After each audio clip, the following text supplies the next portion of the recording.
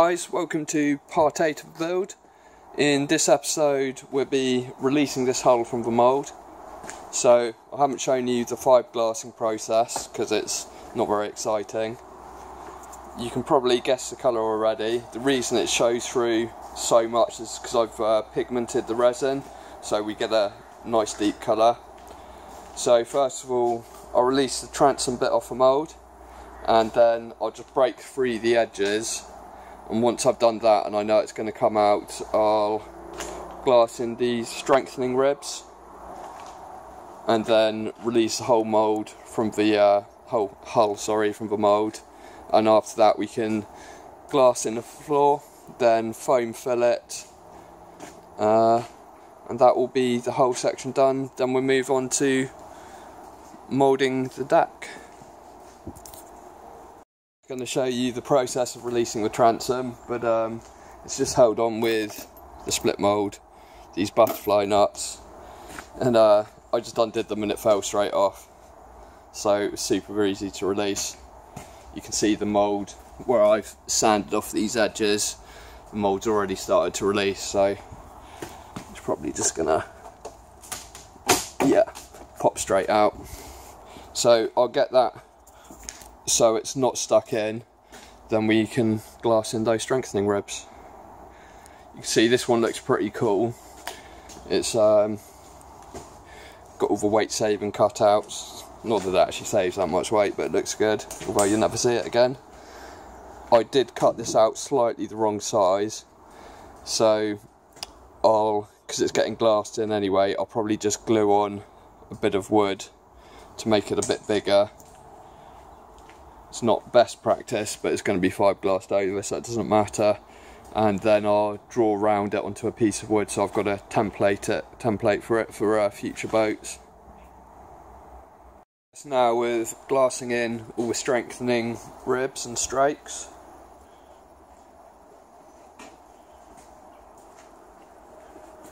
So that little platform's just for the battery to sit on the battery goes up the front there then it um, helps distribute the weight a bit better. And this middle bit here is where the floor goes down on top of this. And I glass in uh, I'll just cover up that area with chop strand mat and I'll glass in two little strakes just in the back. And that also be used as somewhere where I can put attachments to uh, fix down the fuel tank you see what I was talking about earlier, how I cut that piece too short, so I just glued on that bit of plywood and uh, glassed that in. That'd be fine. And these front sponson sections will actually be filled with expanding foam. See, there's a gap underneath for the foam to go into.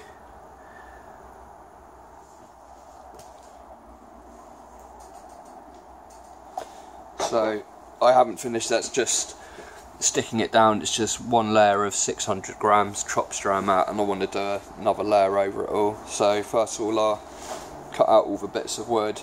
It also needs a piece of wood gluing along this line for the floor to pick up on. So I'll cut out the bits of wood and uh, carry on fiberglassing and show you the progress. I think that looks quite nice with all the uh, holes drilled in it.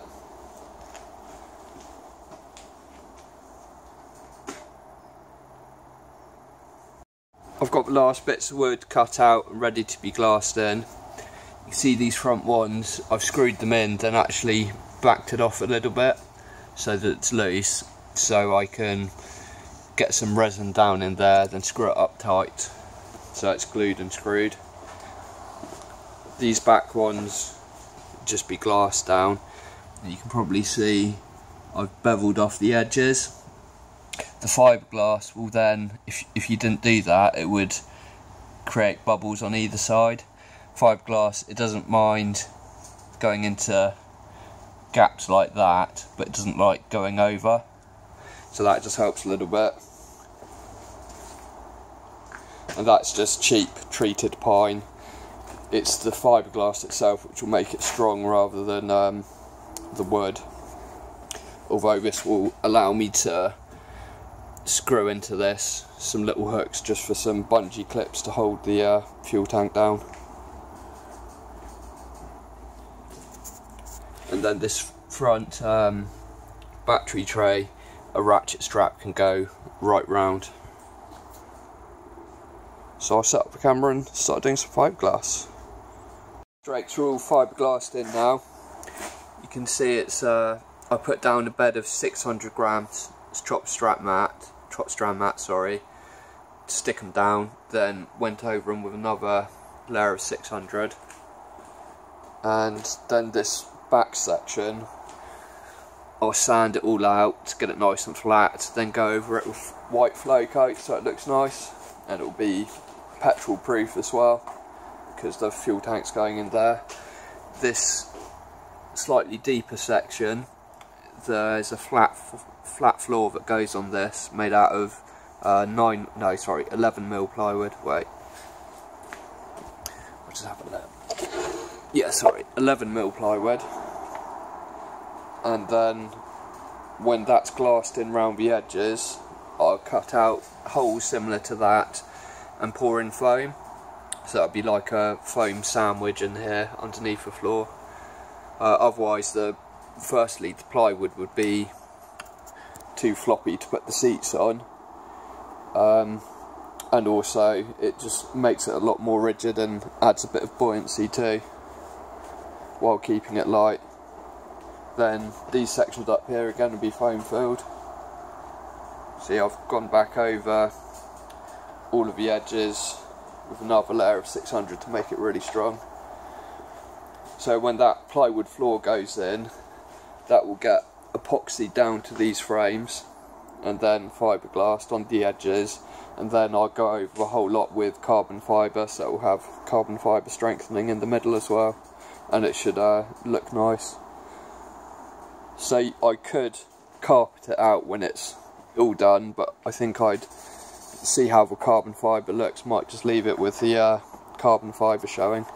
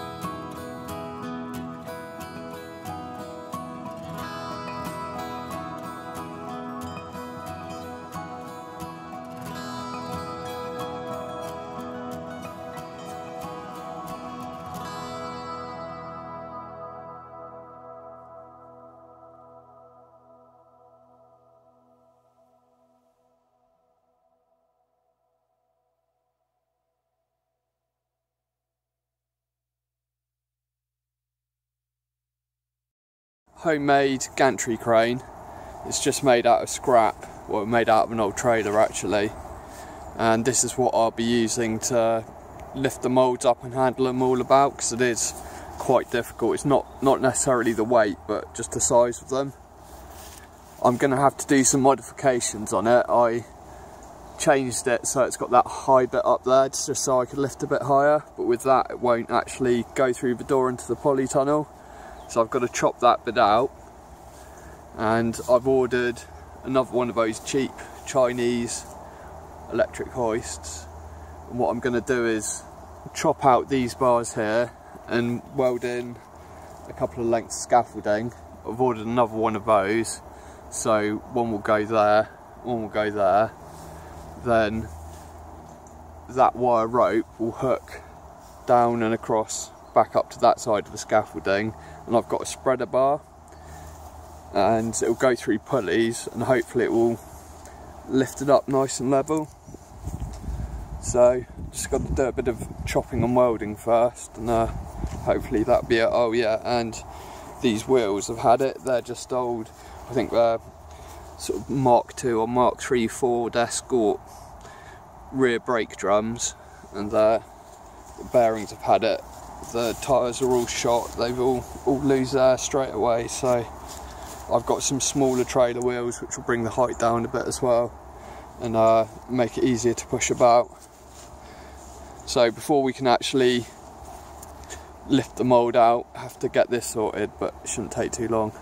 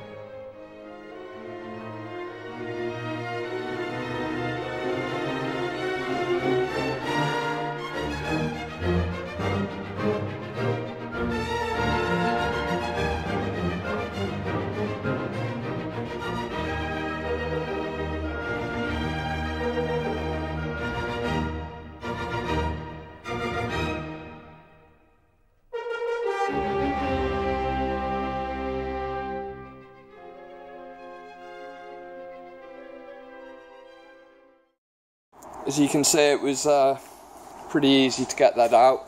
I've just made up this little trolley to move the hull round on. So that's the hull pretty much done. I've just got to paint out these fiberglass bits with flow coat and just at the lip of a mould I've just got to sand those off but that, that gets covered over with the sandwich biscuit tin flange, sorry. The other one. Looks very nice, good finish on it. Nice deep colour to it. I'm not sure about carbon fibre. Maybe if I sand it then polish it will look alright, but I think probably not. I think I'll just carpet over it. But should make it a fair bit stronger. I just I've held back on doing the flow coat because I'll epoxy in the fitting for the um, bilge pump just here at the back. And once you flow coat over it it's a bit harder to stick to so I've got one on order when the bilge pump turns up I'll put it on. So in the next video I've got some work to do just polishing out that deck mould. In the next video that should be much quicker that'll be out in about a week's time because this won't take long uh, we'll have the moulded deck and we're joining the two halves together and we should be pretty close to having a finished boat which would be cool. A bit of work to do on the outboard yet. It's almost all there. I've just got a few bits of wiring to sort out then we'll have to tune it but I won't do that till I can actually attach it to the transom. So yeah thanks very much for watching guys. Please like the video and uh, share it and uh, subscribe to the channel. So thanks a lot, thanks for watching, see you later guys, bye.